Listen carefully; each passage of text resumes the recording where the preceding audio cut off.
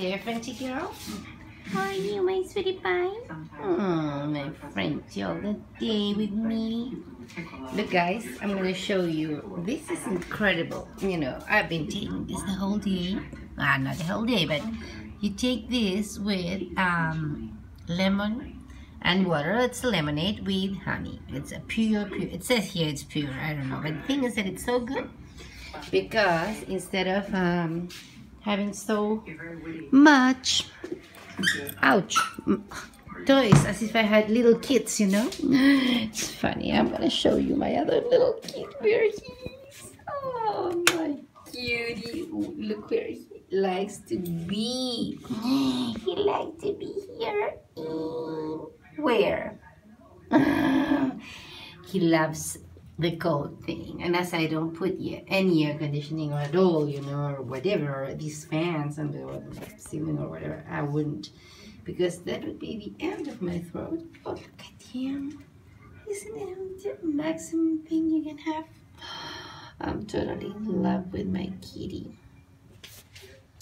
Yeah. Hi, guys.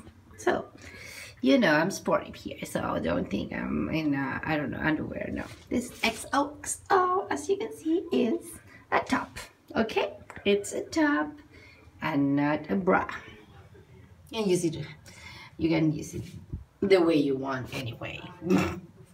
but the thing is that, I'm, you know, my kid, I'm in love with him.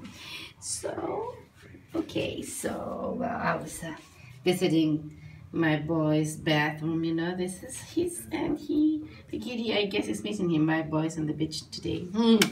Bye, kitty. So, let's go back to the Frenchie girl. Yeah, yeah, yeah. Say goodbye. Say goodbye. And I'll be, you see, I'm better, I guess.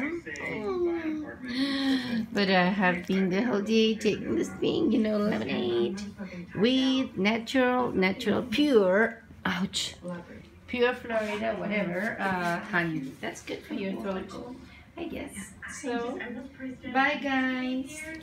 Bye guys. I don't think that I could adequately care for insects, animals.